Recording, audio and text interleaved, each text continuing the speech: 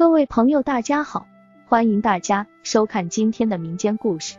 今天故事的内容是少妇砍柴，见狼崽饿晕，用乳汁喂养，举手之劳救自己一命。明朝嘉靖年间，湖北蕲春县瓦谢坝村有一个聪慧美丽的少女，名叫七妹。七妹绣一手好刺绣，十里八乡无论哪家结婚嫁女，都要请七妹绣嫁妆。据说她绣的鸳鸯。能以假乱真，只可惜她新婚一年，丈夫就跌下山崖而亡，七妹肝肠寸断，动了胎气，孩子落地就夭折了。因丈夫是个孤儿，七妹举目无亲，只得搬回娘家，靠哥哥照顾。七妹虽是女子，却十分要强。一日清晨，她强撑着身体，抓起一把柴刀，爬上后山砍柴，走到半山腰。突然传来一声凄厉的狼嚎，七妹浑身一颤，忙将柴刀举过头顶，警惕地看着四周。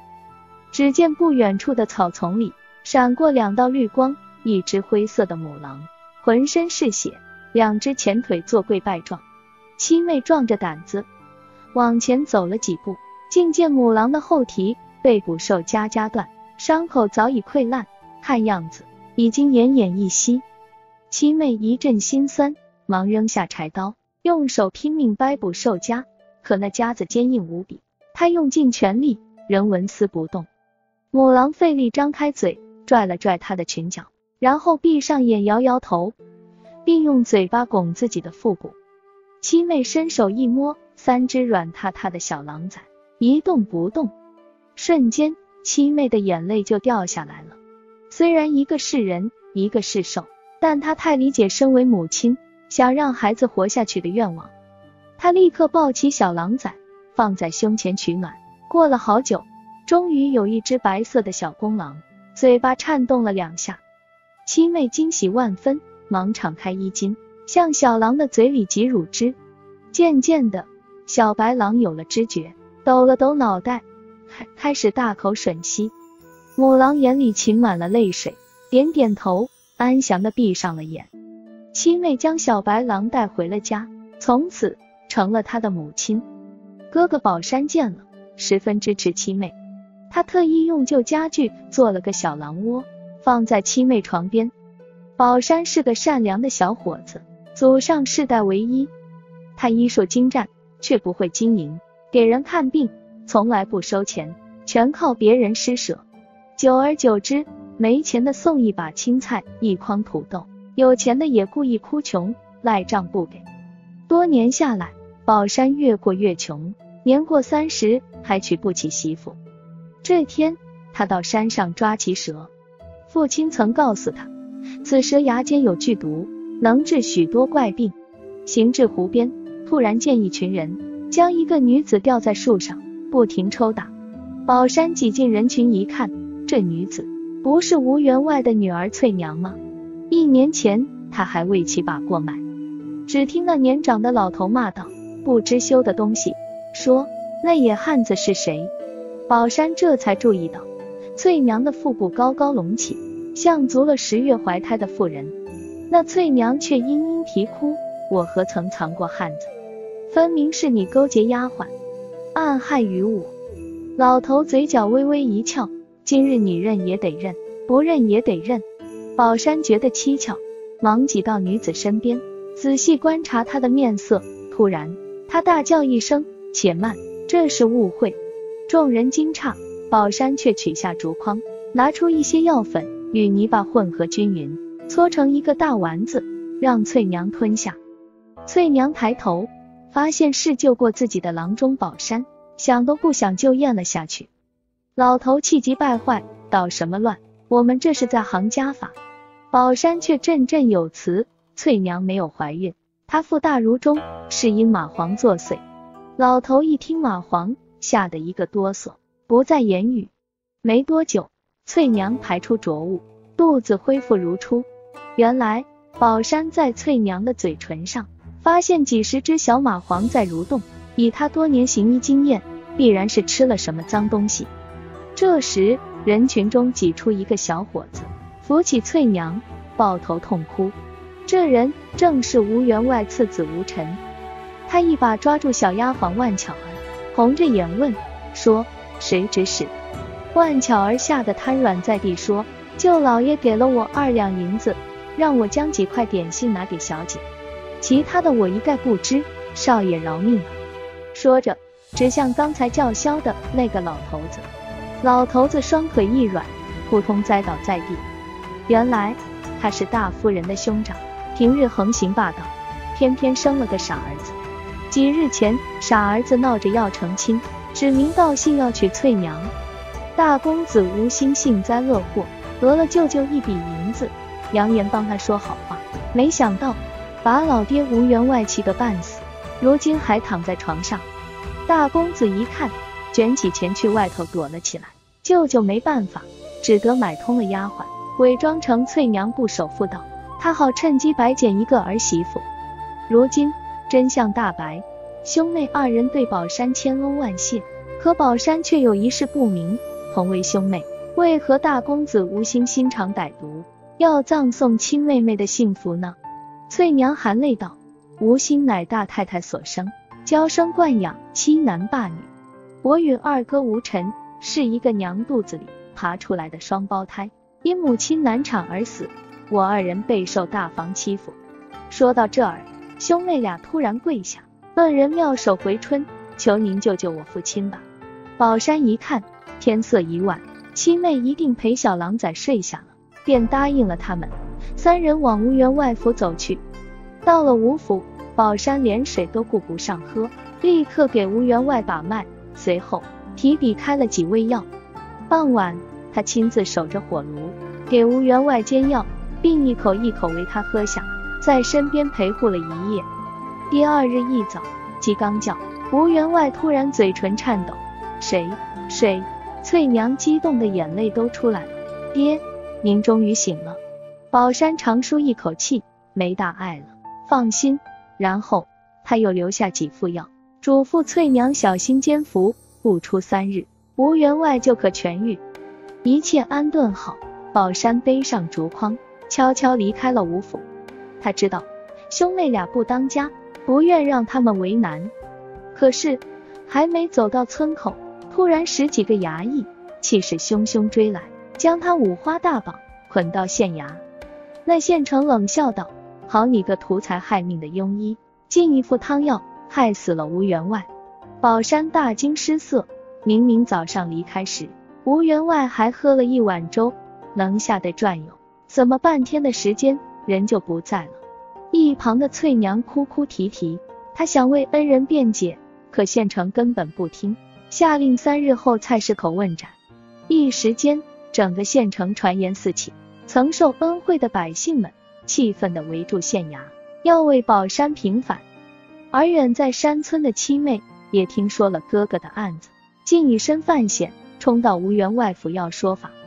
此时吴府的一切都是大公子吴兴说了算，他一眼看出七妹是个美人，便并退左右，笑嘻嘻地说。你嫁给我，我便高抬贵手，放了你兄长。七妹欲哭无泪，又跑去县衙申冤，无奈吴心已买通了县城，非要置宝山于死地。七妹走投无路，抱着小白狼在小院里嚎啕大哭。突然，几个蒙面的男子破门而入，一棍打晕了他，装到麻袋里就跑。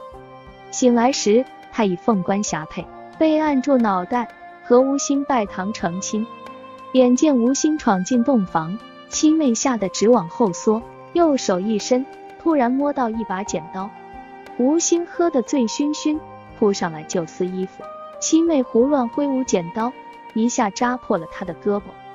吴昕一疼，顿时怒火中烧，照着七妹的脸疯狂甩巴掌。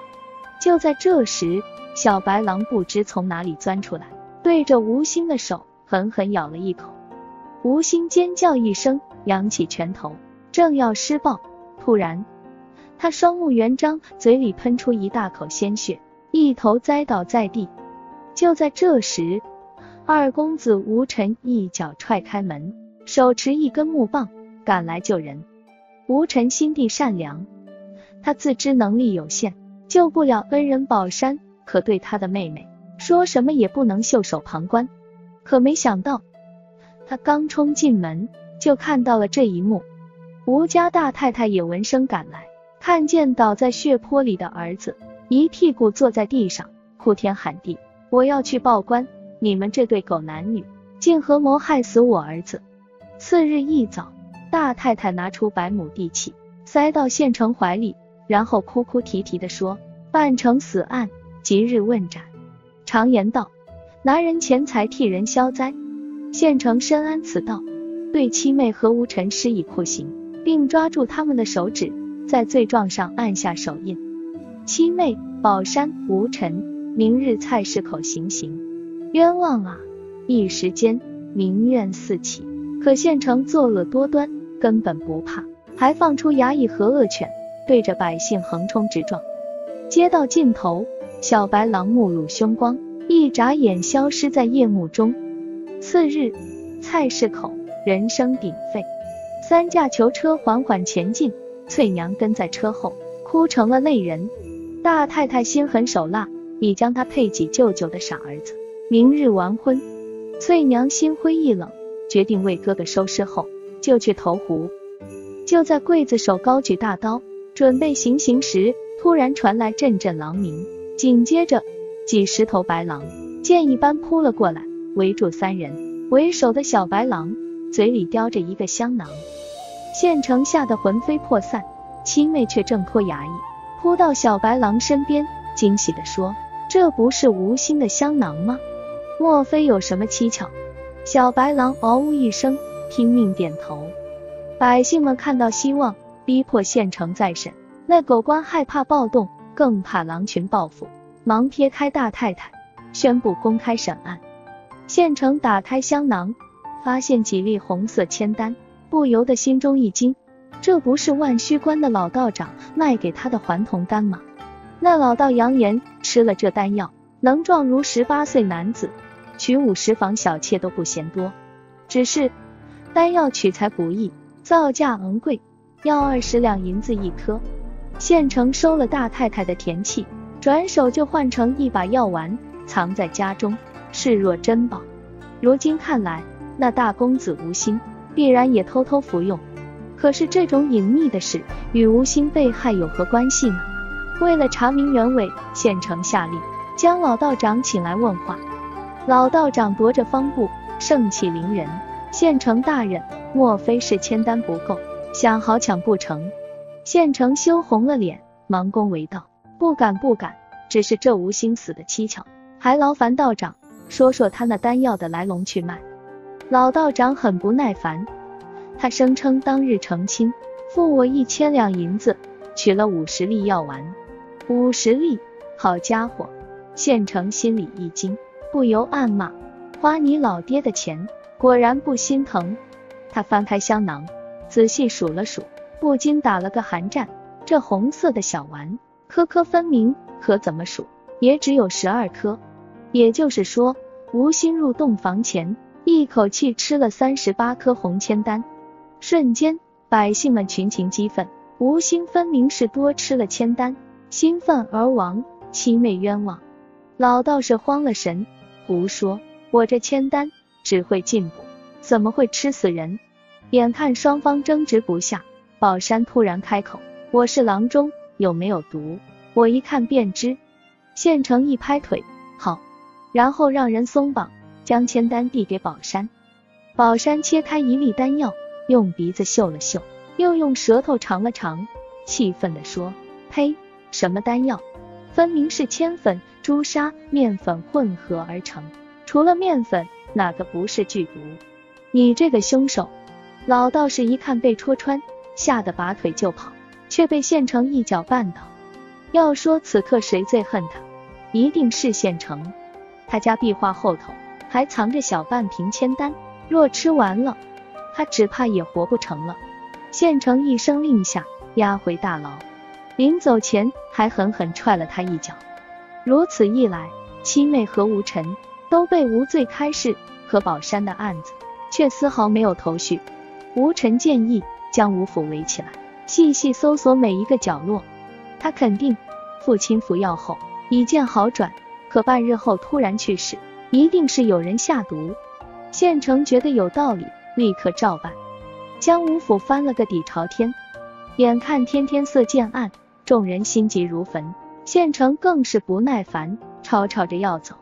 就在这时，一个衙役突然来报：“大人，在大太太的枕头里发现一包红色粉末。”宝山一看，惊讶道：“朱砂，此物少量可入药，大量则伤人性命。”大太太一听，滑得瘫倒在地。原来吴员外生病前曾写下文书，将逆子吴兴逐出家门。大太太爱子心切，为了让吴兴独霸家财。便一不做二不休，害死了吴员外。至此，案子水落石出，大太太、老道士被收监问审，宝山兄妹洗刷冤屈。要说遗憾，就是便宜了那贪心的县城。他因办案有功，被连升两级，又娶了两房小妾。只是这回的小老婆不好对付，一哭二闹三上吊。县城白天办案，晚上跪搓板睡板凳。受尽了窝囊气，直言日子没盼头。而小白狼也回归狼群，远远的守护着母亲七妹和他的亲人。三年后，吴府张灯结彩，办了两桩喜事。翠娘嫁给恩人宝山，为他开设义诊堂，广济天下穷人。夫妇俩成了蕲春县响当当的善人。而吴尘也金榜题名，衣锦还乡，迎娶心上人七妹。随后。夫妇同心，造福一方百姓，成了勤政爱民的父母官。而小白狼也英姿飒爽，成了新任狼王，与恩人遥遥相望，守护一方安宁。好了，今天的故事讲完了，感谢您耐心的收听。如果您感兴趣，请您订阅关注后，可以收看更多的系列故事。也希望各位在收听收看故事的同时，帮忙给我们评论和转发，谢谢。下期故事更精彩，我们下期再会。